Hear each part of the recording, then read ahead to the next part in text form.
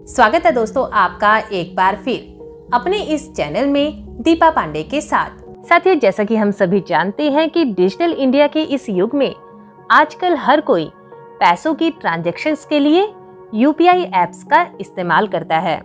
लेकिन ऐसे में कई बार जब हम अपनी पेमेंट करते हैं, गूगल पे फ़ोन पे पेटीएम आदि के माध्यम से जब हम कोई पेमेंट की ट्रांजेक्शन करते हैं तो कई बार देखा गया है कि गलती से ऐसा हो जाता है कि आपके पैसे जिसे आप ट्रांसफ़र करना चाहते हैं, उसकी जगह किसी और को ट्रांसफ़र हो जाते हैं।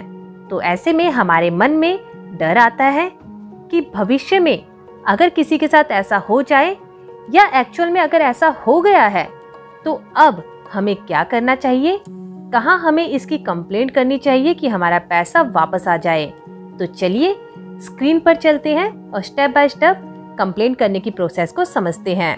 सबसे पहले तो आपको अपने मोबाइल के या कंप्यूटर के जो सर्च इंजन है उस पर टाइप करना है N P C I dot O R G dot in तो साथ ही इसकी ऑफिशियल वेबसाइट में आने के बाद कंप्यूटर पर आप हैं तो आप ऊपर राइट साइड में एक गेट इन टच का ऑप्शन आपको दिखाई देगा। वहाँ पर आपको क्लिक करना है, जहाँ पर ड्रॉप डाउन लिस्ट में से आपको यूपीआई कंप्लेंट सेलेक्ट करना है।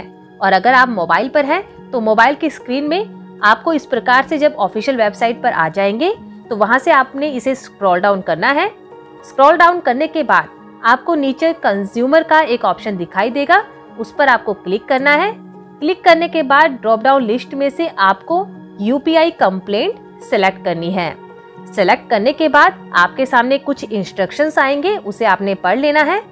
इंस्ट्रक्शंस पढ़ने के बाद आप जब स्क्रॉल डाउन करेंगे तो यहाँ पर आपको कंप्लेंट के नीचे कई ऑप्शंस दिखाई देंगे। सबसे पहले ऑप्शन ट्रांजेक्शन्स पर आपको यहाँ क्लिक करना है। क्लिक करने के बाद ड्रॉप डाउन में आपको कई इंफॉर्मेशन दिखाई देगी जिनको आपने फिल करना है। सबसे पहले आपको नेचर ऑफ़ ट्रांजेक्शन सेलेक्ट करना है। इसमें आपको दो ऑप्शन यहाँ दिखाई देंगे पर्सन टू पर्सन और पर्सन टू मर्चेंट जैसे हमारा पर्सन टू पर्सन है तो हम यहाँ पर इस पर क्लिक करेंगे। क्लिक करने के बाद हमें दूसरा नीचे से यहाँ सेलेक्ट करना है। टाइप ऑफ़ इशू यानी किस प्रकार का इशू है। जब हम यहाँ पर क्लिक करेंगे तो ड्रॉप डाउन लिस्ट में आपको कई ऑप्शंस दिखाई देंगे। आपको इन्हें अच्छे से पढ़ लेना है। सबसे पहला ऑप्शन आप देख सकते हैं कि अमाउंट तो डेबिट हो गया है, लेकिन जिसको भेजना था उसे क्रेडिट नहीं हुआ है। दूसरा ट्रांजेक्शन फेल है, पर अमाउंट डेबिट हो चुका है। तीसरा इनकॉरेक्टली ट्रांसफ़र हो गया है अनदर अकाउंट में, जिसे हम भेजना चाहते थे, उसके अलावा किसी और के अकाउंट में पैसा चला गया है। इससे अगला आप यहाँ देखेंगे ट्रांजेक्शन का टाइम आउट हो गया है बट अमाउंट कट चुका है। उसके नीचे आपको ऑप्शन दिखेगा फ्रॉड्यूलेंट ट्रांजेक्शन का। इस तरीके से कई ऑप्शन आपको दिखाई देंगे, जो भी आपके केस में फिट होता है, उसे यहाँ पे सेलेक्ट कर लीजिएगा। उसके बाद नीचे यहाँ कमेंट्स में आपको अपने जो इशू था, उसके बारे में डिटेल इन्फॉर्मेशन ब्रीफ में लिखनी है, जिसके 500 कैरेक्टर्स यहाँ पर अलाउ हैं।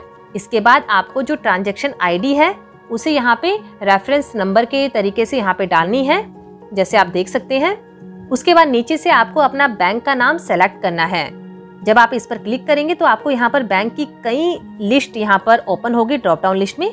आप इसमें से अपना कंसर्न बैंक चूज़ कर लीजिएगा। उसके बाद आपको नीचे वर्चुअल पेमेंट एड्रेस यहाँ पर एंटर करना है।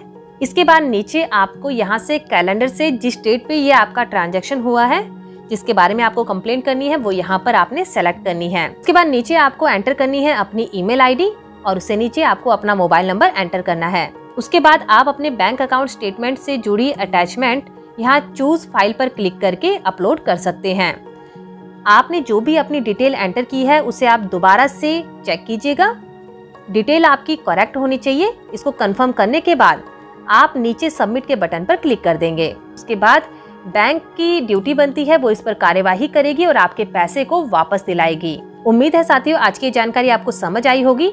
इससे जुड़े जो ज़रूरी लिंक्स हैं या वेबसाइट का जो एड्रेस है, वो हम नीचे डिस्क्रिप्शन बॉक्स में आपको दे देंगे। आप वहाँ से यूज़ कर सकते हैं। तो फिर मिलेंगे आपसे ऐसे ही किसी नए टॉपिक के साथ, किसी नई कानूनी जानकारी के साथ। तब तक के लिए नमस्कार।